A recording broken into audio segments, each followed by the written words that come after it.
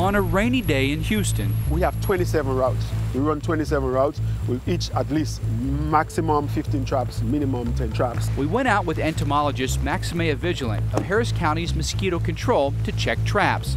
With 268 designated areas and more than 300 traps, his crews are out every day, and each site gets tested once a week.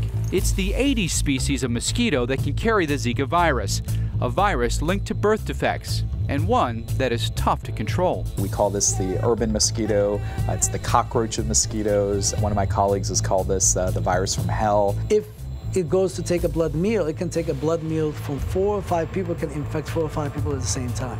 Largely, predominantly daytime biters.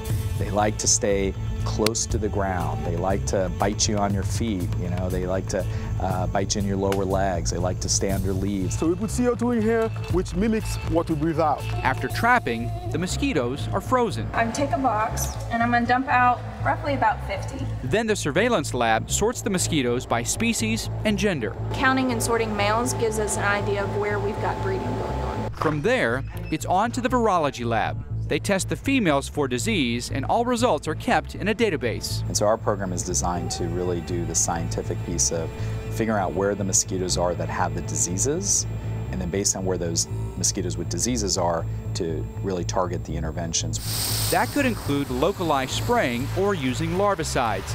But ultimately, the goal is to reduce the standing water, their breeding ground. With this Zika mosquito, we cannot spray our way out of this. So now you're really talking about a needle in a haystack related to finding mosquitoes that have Zika and humans that have Zika. So it's two needles in a haystack that you're trying to put together and come up with a response.